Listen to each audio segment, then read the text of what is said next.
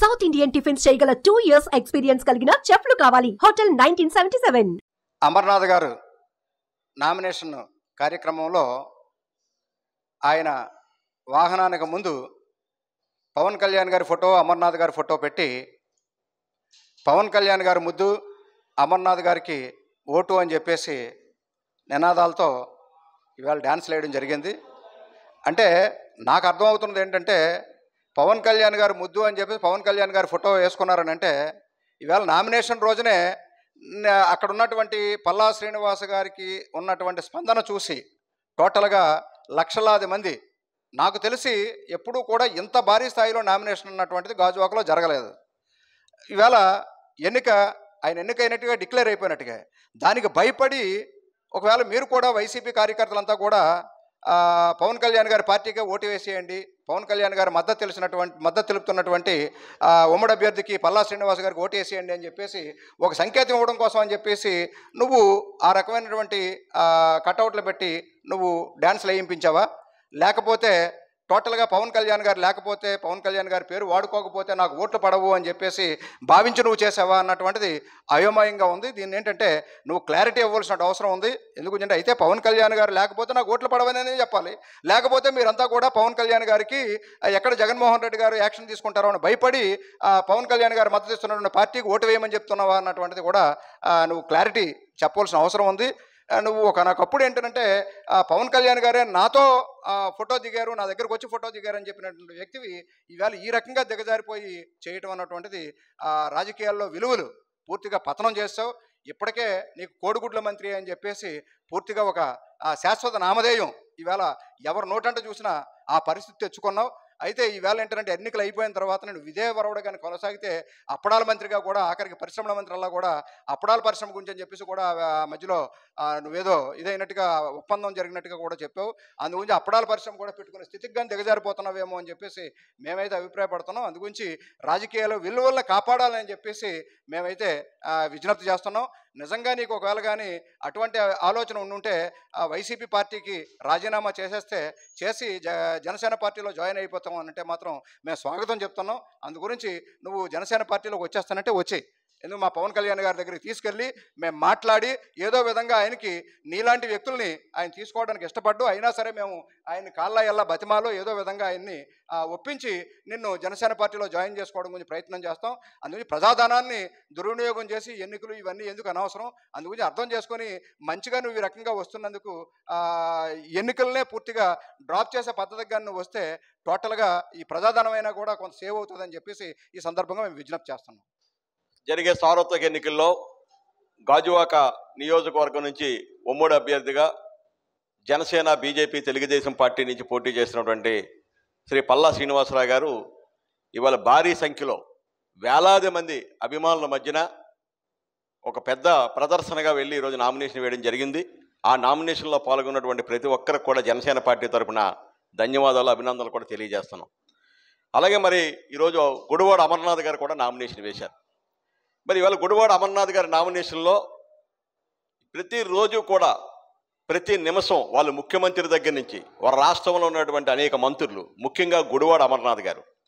గుడివాడ అమర్నాథ్ గారు అనేక సందర్భాల్లో చెప్పారు ఆయన కానీ వాళ్ళ కుటుంబ సభ్యులు కానీ మాకు ఈవేళ ఎమ్మెల్యే ఉద్యోగం కానీ మినిస్టర్ మంత్రి ఉద్యోగం కానీ ఇచ్చారంటే అది కేవలం పవన్ కళ్యాణ్ గారు తిట్టడం కోసమే మాకు ఆ ఉద్యోగం ఇచ్చాడు జగన్మోహన్ రెడ్డి అని చెప్పి అనేక సందర్భాల్లో వాళ్ళే చెప్తున్నారు.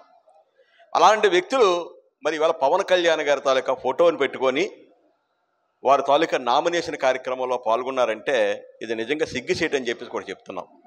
ఎందుకంటే నువ్వు తెల్లవారు లేగిస్తే తిట్టే మంచిది. నువ్వు నాతో కలిసి పవన్ కళ్యాణ్ గారి ఫోటో దిగారంటావు.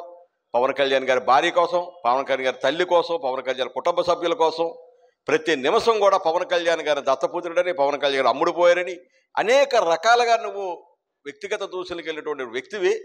ఈరోజు మళ్ళీ అదే పవన్ కళ్యాణ్ గారి ఫోటో పెట్టుకొని అడిగితే కానీ ఓట్లు రావని చెప్పేసి నువ్వు ఆ రకంగా ఫోటో పెట్టుకున్నావంటే మరి ఏ రకంగా దీన్ని మరి రాజకీయాల్లో అంటే నైతిక విలువలు అంటారు?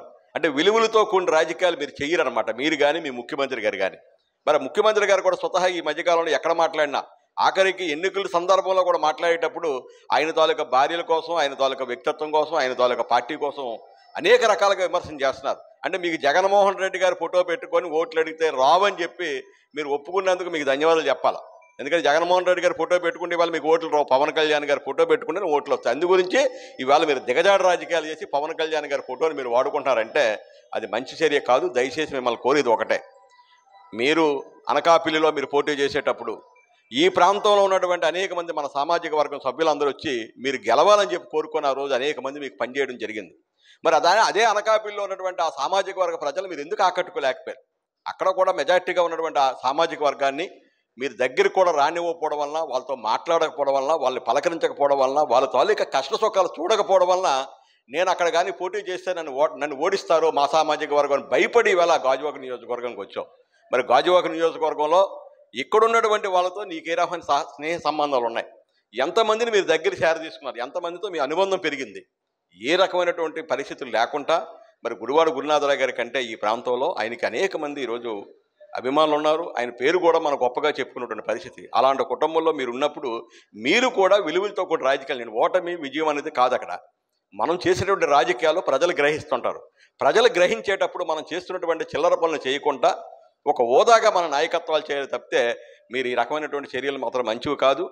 అదే డయాస్ మీద బొత్స సత్యబాబు గారు ఉన్నారు. అనేక మంది పెద్దలు ఉన్నారు. వారన్నా చెప్పాలా? అయ్యా మన పవన్ కళ్యాణ్ మనకు ప్రత్యర్థి. సంబంధించి ఎన్డీఏ అభ్యర్థిగా మన పల్లా శ్రీనివాసరావు గారు నామినేషన్ వేయడం జరిగింది అదేవిధంగా మరి వైఎస్ రాజశేఖర రెడ్డి పార్టీ తరపున గుడివాడ అమర్నాథ్ అంటే కోటిగుడి మంత్రి గారు కూడా నామినేషన్ చేయడం కూడా జరిగింది.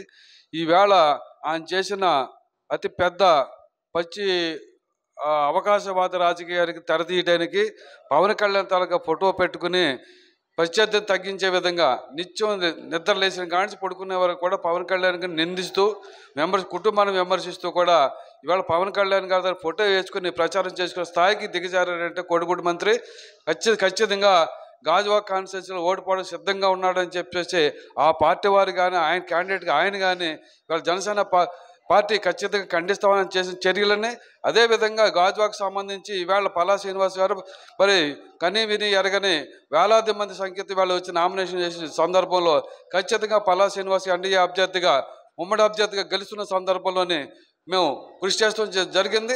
ఈవేళ కోడిగుడి మంత్రి మరి ముందు మా మాట్లాడినట్టు గడసాల అప్పార గారు గంధ వెంకట్రావు గారు నా మిత్రుడు కానీ రౌత్ గోవింద్ కానీ ఇవాళ మేమందరం చెప్తున్నది ఏంటంటే కులం తరపున కానీ పార్టీ తరపున కానీ ఐక్యంగా ఖచ్చితంగా ఈ రాష్ట్రంలో ఉన్న ప్రత్యామ్నాయ రాజకీయం.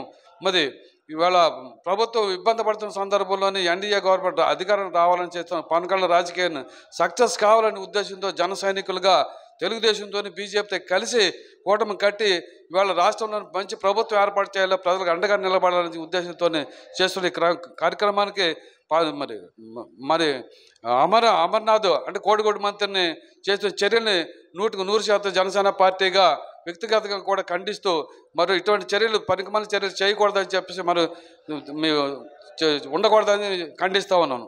సుమన్ టీవీలో మీ పర్సనల్ అండ్ బిజినెస్ ప్రమోషన్స్ కోసం కింది నెంబర్కి కాంటాక్ట్ చేయండి.